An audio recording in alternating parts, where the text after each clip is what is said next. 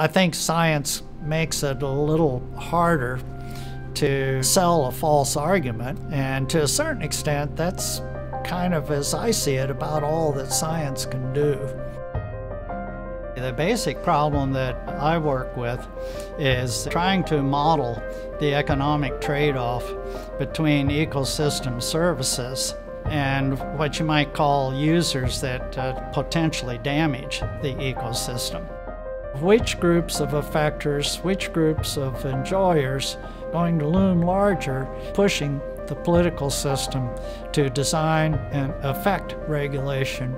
You know, try to remove some of this political uncertainty, which way the ultimate political equilibrium is going to shift.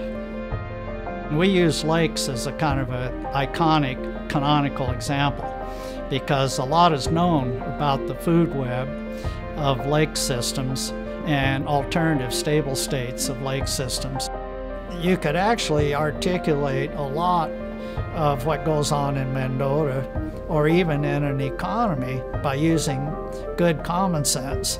So you might ask, why do people bother to build models at all? Well, the point is, is you want to quantify the common sense. So you want to be able to actually put quantitative numbers on the common sense. What we did is we created this power index. We uh, looked at the distribution of value to the stakeholders on each side. It looks like a probability distribution. What you would try to predict is that if the technical uh, aspects of, of the enjoyer distribution, like whether there's a small number of really large enjoyers, you know, I'll just give a hypothetical example. A couple of billionaires that have extremely large estates on the shores of Lake Mendota that are being ruined by uh, slimy water. Well, you can imagine how large those two billionaires would loom in a small legislature like Wisconsin.